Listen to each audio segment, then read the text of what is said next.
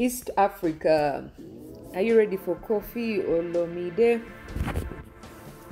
Diamond Platnumz has welcomed um,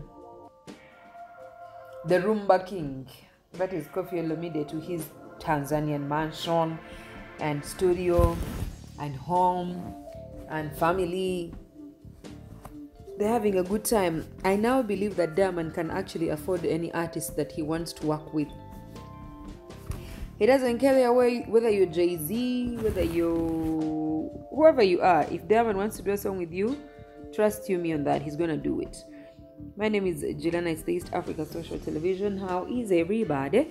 Singer Kofi Olomide arrived in the neighboring country on Saturday, um, November 21st. Diamond shared a video posing with Kofi at the entrance of his house, where his trophy cabinet is well displayed. The two then moved into a separate room that occupied the studio, and it was finally clear that they were creating some music. I have that video. Hold up, guys.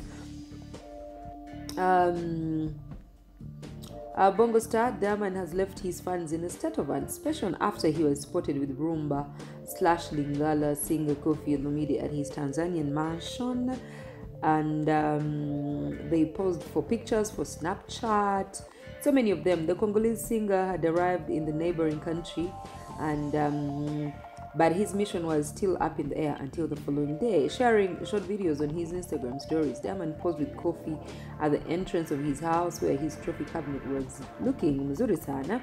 And King Kaka posts inspirational TBT with legendary music producer Jermaine Dupri. Uh, the singer was very excited as they shared a laugh in front of the cabinet that showed Diamond's uh, incredible achievements over the years.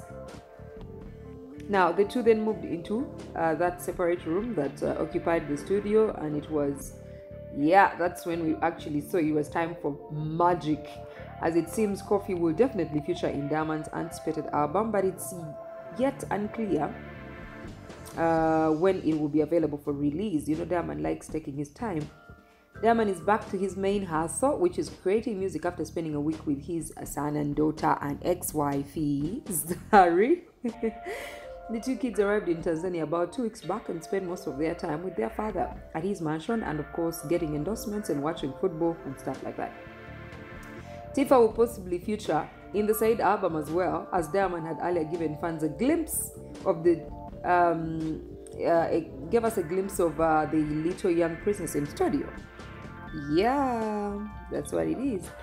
The Jeje hitmaker shared a video of Tiffah on the mic at the studio while wearing huge headphones listening to the beats of the song. And uh, the young girl was recording her lines and could be heard shouting sitaki staki staki which appears to be the only part she will play considering how difficult it may be for her to grasp more swahili lines.